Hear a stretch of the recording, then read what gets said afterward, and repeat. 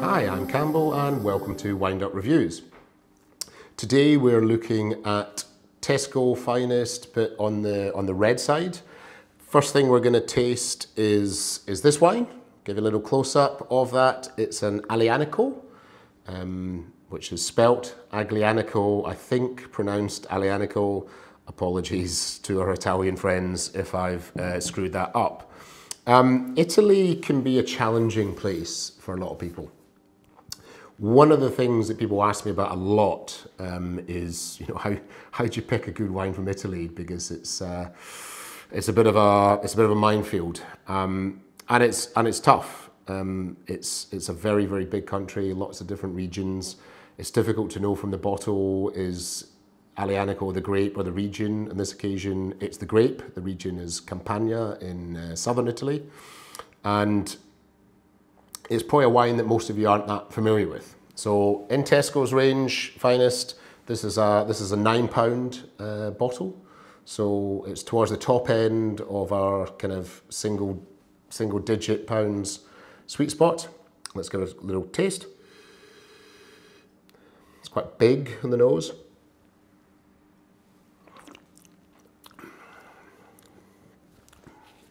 It's arguably um, a little bit lighter than the nose might lead one to expect.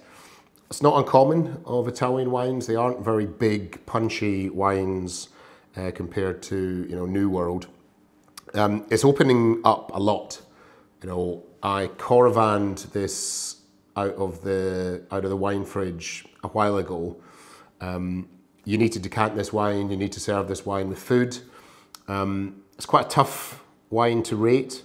Um, the fruit is coming forward more and more.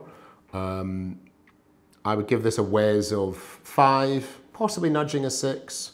Um, at nine pounds, my expectations start to get a little bit higher.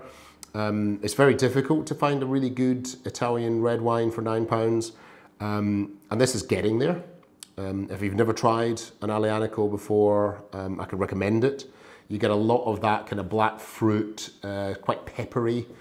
It's almost like a kind of poor man's um, Syrah, a uh, bit, bit lighter in the body, but it, it really does need to be decanted, give it a bit of air. It's quite tannic, uh, so it definitely needs food. This isn't a wine to drink solo.